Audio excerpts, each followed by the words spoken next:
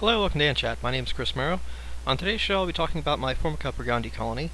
Uh, basically, they are, they are uh, social parasites, but queens have to start nests in a very specific way.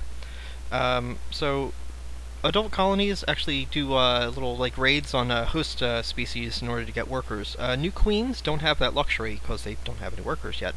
So, in order for the colony to start up, they have to infiltrate a colony or otherwise, you know, steal brood and uh, you know, if there is a resident queen of the host species, uh, she needs to get killed at uh, some point, and uh, replaced by, uh, you know, the Formica pergandei queen.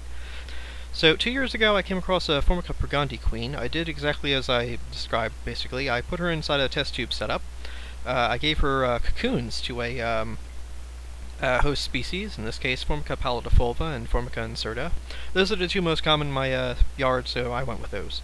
And uh, success! We had a queen uh, that uh, you know, now has workers. Um, I caught her in August, so she didn't even bother to lay eggs over the winter. Formica in general do not keep eggs, uh, or any sort of brood for that matter, over the winter time. So it's it's kind of a strategy uh, that they kind of use. Now I have a uh, Formica pallidefulva queen, which I also caught and started rearing in captivity. And she started laying again in around uh, April, I want to say, and then the Formica pergandei queen started laying her eggs in um, May, so it was kind of a late start. I assume that's to give their host uh, species um, just, you know, a fighting chance uh, at uh, starting up, um, you know, so that way when their workers get born, they'll have something to raid out of the other nest. So that makes uh, perfect sense in my mind. Now, this first year, I'm actually told you know, by other people who do this that uh, it actually takes a while for these colonies to start up. So here we have a picture of um, basically what the nest looks like today, and uh, there is a video coming up, but I need to explain a certain point. Um, for the longest time, the Formica pergandei queen wasn't, uh, like, none of her brood was actually reaching adulthood.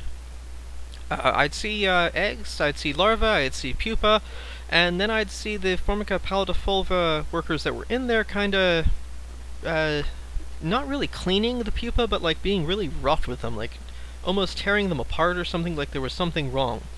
And eventually we did get this really small caste born. We got like, I have uh, maybe three of those inside the colony right now. These really, really tiny uh, ants uh, for the uh, Formica pergandei species, and it really raises questions as to what the hell this caste is for, because they're certainly not raiding a colony from something, you know, with, you know, workers the size of this, you know, it's, it's not, it doesn't make uh, sense, so, but once those first three uh, were born, it seemed like everything uh, took a turn for the better.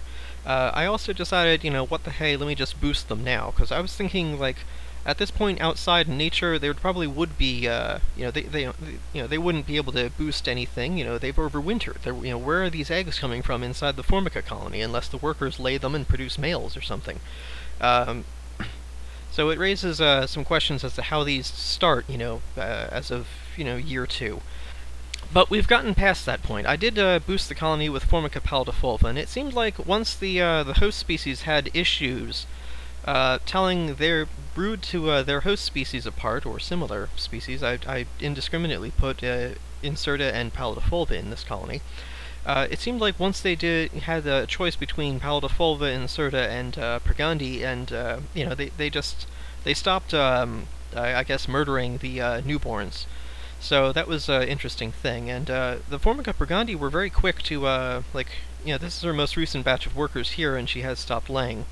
Uh, so we do have uh, more normal sized, I'd say at least the smallest caste anyway. Formica pergandei workers are typically the same size as their host, if not slightly bigger. So we're getting to you know more correct sizes. Now here we have a video, and uh, I had to. Um, the trouble with keeping these ants is I always want them to be visual, so I can't really move them to any sort of a setup. And uh, you can kind of see, you can kind of tell the difference between host and uh, parasite here. from pergandei being the uh, sort of more red and brightly colored ones, and uh, Incerta and Pallidefulva being more um, uh, brass or uh, you know a duller color. They also move slightly differently. They're you know the host species actually do work. and here I'm in the process of moving them from one tube to the next because this is their original tube and it was running out of water, so you need to do that. So what I did was, you know, they're not really foraging at this time, so I uh, just taped a uh, clean tube with a fresh water supply to it. Uh, when you do that, always leave a small gap. Not so the ants can get out, but um, if there isn't a gap, you'll get nothing but condensation just forming everywhere in the tube. Uh, so you need a small vent hole, and you know, regular scotch tape works. And you can see there are, you know, still workers being born here. Uh, yeah, but like you can see the difference in uh, caste size.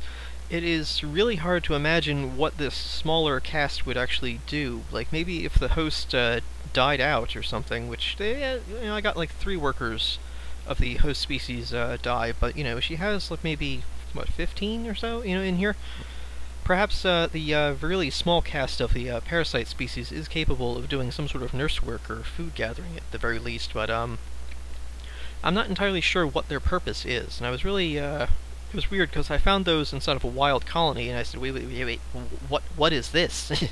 you know, like, th these ants are not supposed to do work, they're supposed to be lazy and, you know, hell-bent on just, you know, going out raiding other host colonies that are, you know, do not have a parasite resident, and just stealing uh, brood. Um,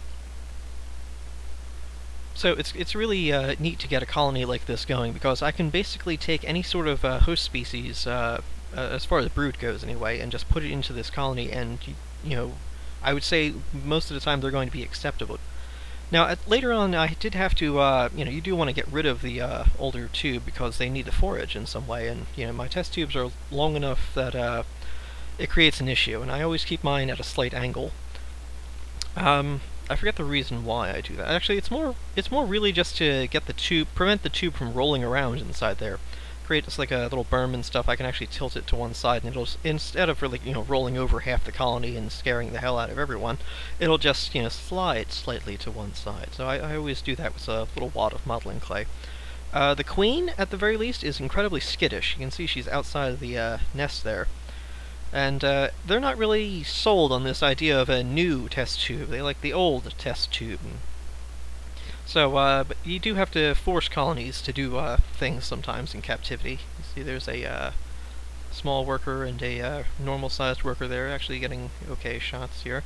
And uh, I have to apologize for the slightly yellow haze over the the entire video portion of this. I was not, I didn't think to use a flashlight and just highlight things I need to change the bulb or something that I'm using because it just uh, I don't think I can edit in my uh, software. But anyway, um, you know, these this is not the you know the completely correct color of uh, ants in here. So we do have uh, this happening here. And eventually, when a colony, uh, you know, moves into a new nest and or gets spilled into a new area, you start seeing uh, interesting behavior that you know, it's, it's, encouraging to the owner. You can see an ant here, you know, getting dragged into the uh,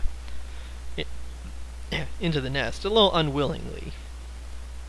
I'm trying to see, is that a... Yeah, that's a host species there.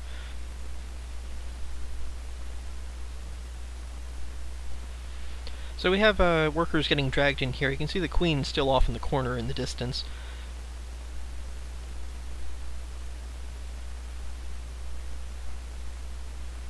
Could, yeah, if they were doing stuff like this uh, constantly, I think I, I feel like I could just watch them for hours. So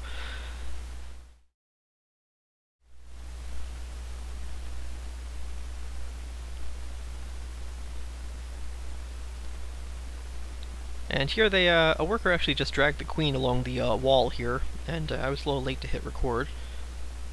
But you see, you know, even she's getting uh, pulled inside.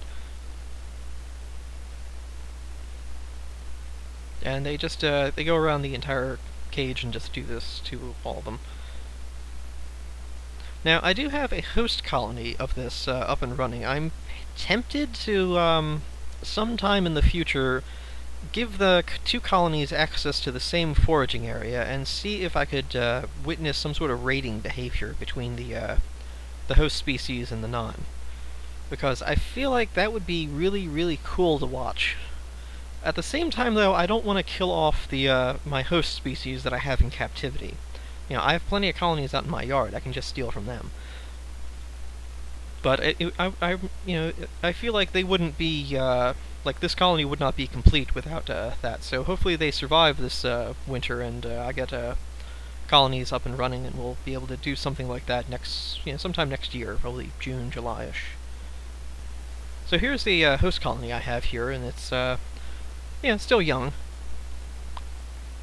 I find Formica to be a little slow to start. This whole not keeping brood over the winter thing is really, really problem. And I'm filming them like this just to uh, attempt at some sort of comparison. You can see um, the Formica per yeah, the Formica pallidefulva workers from a young colony are about the same size as the smallest workers of the pallidefulva.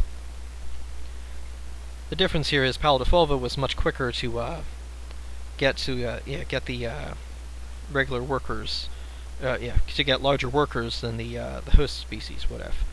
So that's about uh, all I have to show you. I've been Chris Murrow, and this has been a look at my Formica Gandhi colony. Uh, thanks for watching, and of course I have a blog, uh, antspeecebutterfliesnature.blogspot.com. Um, thanks for watching, and goodbye.